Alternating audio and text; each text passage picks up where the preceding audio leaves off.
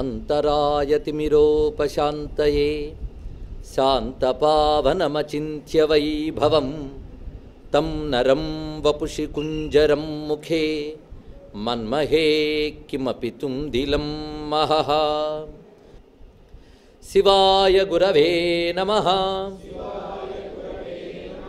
शिवाय गुरवे नमः। शिवाय गुरवे नमः।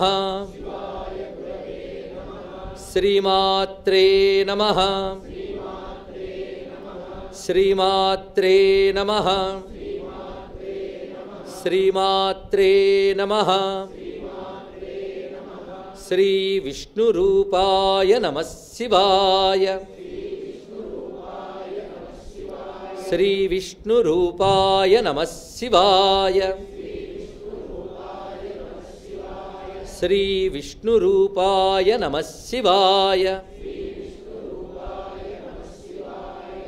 नमो महद्भ्यो ऋषिभ्यो गुरुभ्यो नमः।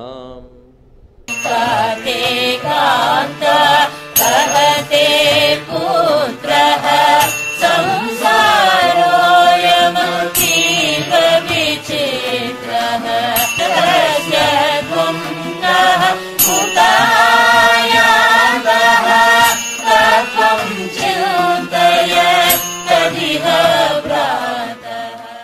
అసలు ప్రశ్నించడం నేర్చుకో. ఏదైనా వచ్చింది కదా అని నువ్వు ఆగిపోతున్నావు. మళ్ళీ హేతువాదం అంటాడు పెద్ద కబుర్లు. నీకు నిజంగా హేతువాదం అనే శక్తి ఉంటే తర్కించు తర్కించు. సృష్టిలో తర్కానికి హేతువుకి చోటునిచ్చిన ఒకే ఒక్క మతం హిందూ మతం. ఇది తెలుసుకోండి ఇక్కడ. అసలు ఏం తర్కించుకో నమ్మి పాడైపో అని చెప్తే మిగిలినవి ప్రశ్నిస్తే పాపం అంటాయి. కానీ ప్రశ్నించుంటుంది భారతీయ సంస్కృతి. శృతి మతస్తర్కోనుసంధీయత అన్నారు భగవత్పాదుల వారి. తర్కించి ఆలోచించప్పుడు ప్రశ్నించావా? ప్రశ్నిస్తే జ్ఞానం వస్తుంది. కేనా అని ప్రశ్నిస్తేనే ఉపనిషత్తు వచ్చి కేనోపనిషత్తు అయింది ఇక్కడ. ప్రశ్నించు ఏమని ప్రశ్నించాలి? ఇది వరకు ఎవరో ఒకరికొకరు తెలియదు తల్లిదండ్రుల దగ్గర తిరిగో పెరిగో చదువుకున్న అంతా అయింది వివాహమైంది. అప్పుడు ఒక జీవితం ప్రారంభమైంది. అదే జీవితం అనిపిస్తుంది ఏం జీవితం కాదు. ఇదివరకు ఎవరు? వారు లేనప్పుడు నువ్వు ఎలా ఉన్నావు? ఆలోచించు. కాతే కాంత. కస్తే పుత్ర. నిన్న మొన్నటి వరకు వాడు ఎవడో తెలియదు పుట్టింది గురించి వాడే ప్రపంచం. ఎక్కడి నుంచి వచ్చాడు? అప్పుడు లేనప్పుడు నువ్వు లేవా? వాడు లేకపోతే బ్రతకలేనండి. మరి పుట్టిన దగ్గర నుంచి ఉన్నాడు వాడు. ఆలోచించు. దేనివల్ల వస్తున్నాయి? ఆలోచించే బంధాలన్నీ.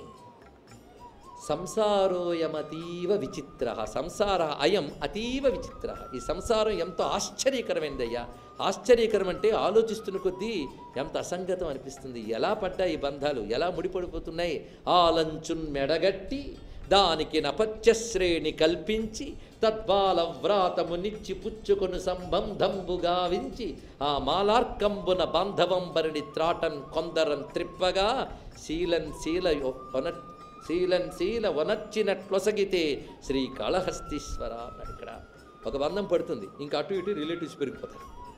ఇంకా వాటిని కొనసాగించడం. వాటితో ఇచ్చిపుచ్చుకునే సంబంధాలు ఎంత పెంచుకున్నామండి సంసారం ఎక్కడి నుంచి ఎక్కడికి అసలు నీ యొక్క అసలు స్వరూపం తెలుసుకోవడానికి వీలు లేకుండా నీ చుట్టూ ఎన్ని బిగించేశావు? కాస్తనే స్థిమితంగా ఈ చుట్ల నడుమ చిక్కిపోయిన నేను అసలు ఎవరిని అని ఆలోచించావా? లేదే అంత సంసారాన్ని బిగించావు. అసలు కశ్యత్వం ఎవడివాడవు నువ్వు? ఎవడికి చెందినవాడవు? నేను ఫలానా వారి వాడను అంటున్నావా? వాడంటాడా? ఎంతవరకు అంటాడు ఎవడు నీకు వస్తున్నాడు ఆలోచించు. కశ్యత్వం. కుతాయాత. ఎక్కడి నుంచి వచ్చావు? కశ్యత్వం వా కుతాయాత.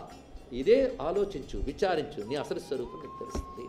కనుక నేను నావి అని ఆలోచిస్తే నావితో నేను కలిపేసుకుని నన్ను దానికంటే వేరుగా చూడలేకపోతున్నాను. అవునా లేదా? నేను తెలుగే చెప్పాను కానీ నేను నావని మూడుసార్లు సార్లు కానీ ఏమో వచ్చేసింది. ఇక్కడ నావి అనేవి పెంచుకుని నేను వాటితో కలిపేసి వాటి నుంచి నేను వేరు చేయలేక అసలు నేను తెలుసుకోకుండా గడిచిపోతుంది. అవునా లేదా? నాది అని ఎన్ని కలిపేసుకున్నామండి ఇక్కడ? అన్ని చుట్టలు చుట్టేసుకుంటే మన అసలు స్వరూపం మనకు తెలియదు. అక్కడికి చుట్టలే నేను అనుకుని ఒక అజ్ఞానం ఉంటుంది.